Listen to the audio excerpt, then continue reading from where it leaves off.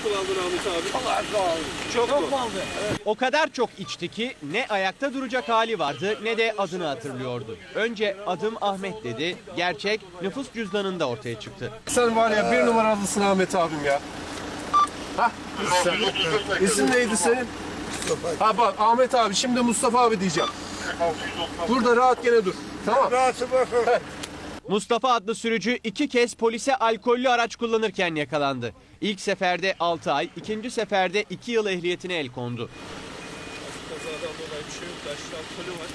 Cezasının bitmesine 15 gün kala yine alkollü direksiyona geçti. Lüks cipi moloz yığınlarına sürdü. Alkolden dolayı bunu götürmek istiyorsanız götürün. Bu aşırı alkollü komaya girme durumu olabilir.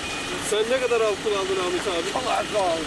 Çok, Çok mu? aldı? Evet. Uslanmaz alkollü sürücü ambulansa alındı. Sana bunu Kimliğini verebilir misin Ahmet abi? Ama böyle olmadı. Anlaşamadık. Ne? Adı da Ahmet değil Mustafa çıktı. Sen var ya bir numaralısın Ahmet abim ya. Hah.